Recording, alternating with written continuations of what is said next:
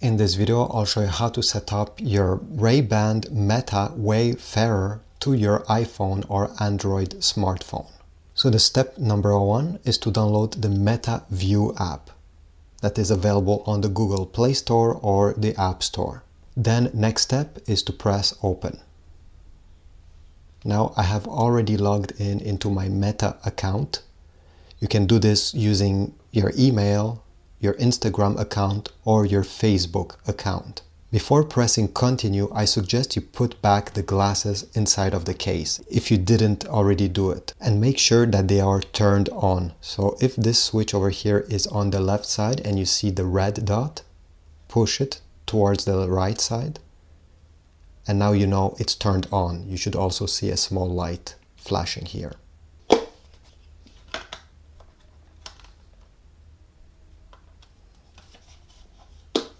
And then you can press continue. Now choose the top option over here, Ray-Ban Meta. And on the screen, they simply inform us that you need to remove the small plastic tag with the arrow if you didn't already do it. When I unbox these glasses and open this case, there was a small plastic tag with an arrow. You just need to pull it. Then press done. It will now search for your glasses and usually it should only take a few seconds or maybe in your case a few minutes. Just make sure that the case is very close from your phone. Then once they found it, press connect. Press pair.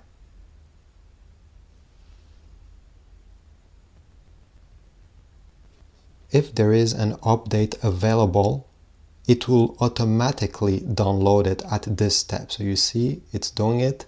All you have to do is to put your phone down. And by the way, I suggest before even starting this process to charge the case with the glasses inside because depending how much time this has sitted inside of the store, the battery inside of the glasses and the case could be at 0%. So this is just something to keep in mind. Now I'll come back when this has been completed. Once the update has been downloaded, you need to press on Install Update and press Allow. And then press Join. In our case, it will take about 4 minutes to install the update that just got downloaded. So I will be back when this is completed. Okay, the update has been installed. Now I can press Continue, press Allow, and they will ask you to put the glasses on your face. So let's do this. Now they will ask us to press on the capture button. Let me remove them so I can show you. The capture button is on the right side over here, right above the Ray-Ban logo. Press it once.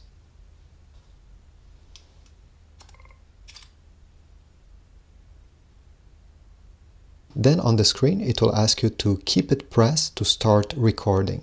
So press and hold this button.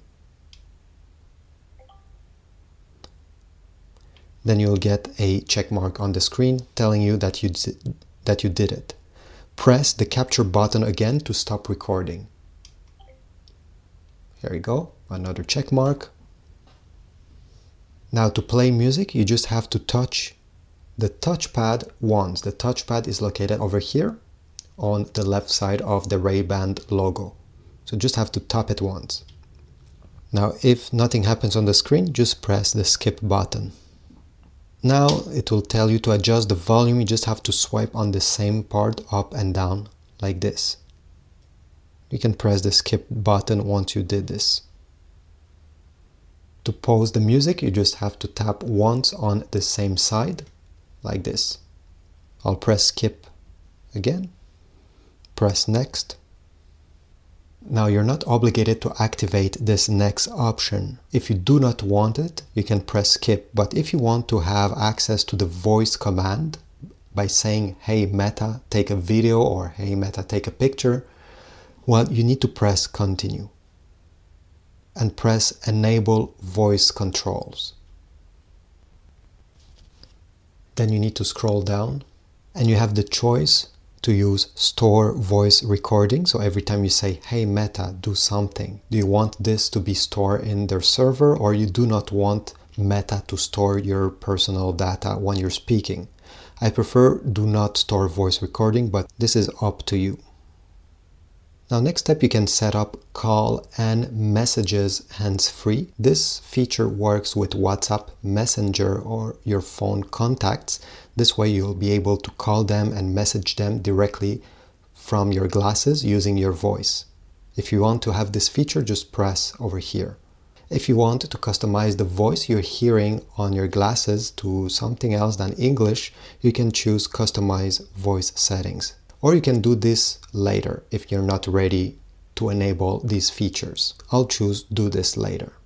And here it's up to you if you want to share your personal data with Meta or if you do not want to share this, I'll click on the below option, don't share additional data.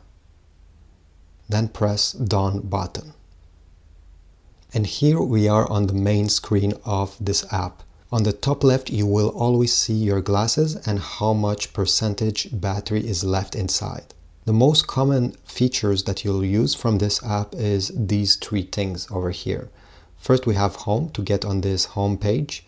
Then we have this icon. If you click it, you'll be able to save the media from the glasses, so the pictures or video you have captured, to your camera roll. But to do this, you need to press continue here.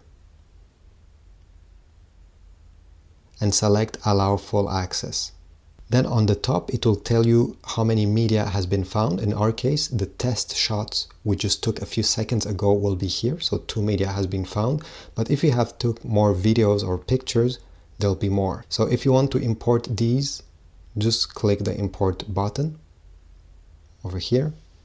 It will search for your glasses over Wi-Fi then press join. Wait a few seconds